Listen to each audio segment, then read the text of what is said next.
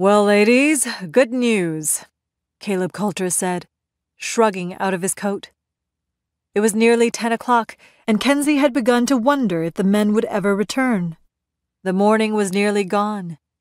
She put aside some sewing she'd been doing and joined the others gathering around Caleb and Patrick. Do tell, brother. Camrie stood beside her fiancé. Patrick Murdoch looked down at her with a lopsided smile and slipped his arm around her waist. They were well matched and clearly in love.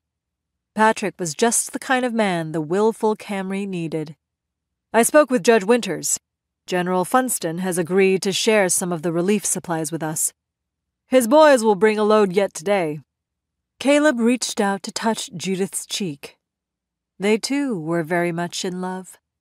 Everyone is in love. Everyone but me. Kenzie frowned as Micah came to mind. How easy it would be to give her heart to him he said and did all the right things.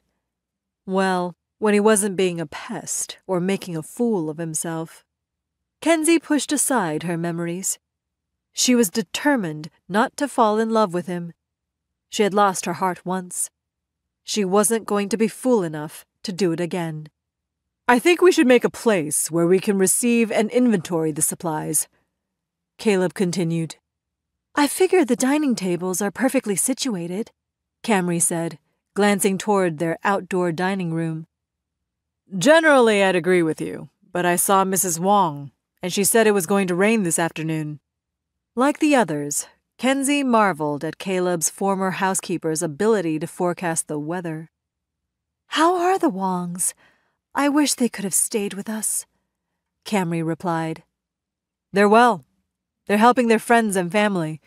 Chinatown was completely burned to the ground. The Chinese have lost most everything, and now the Board of Supervisors wants to move Chinatown out, south of Golden Gate Park. Well, away from the city.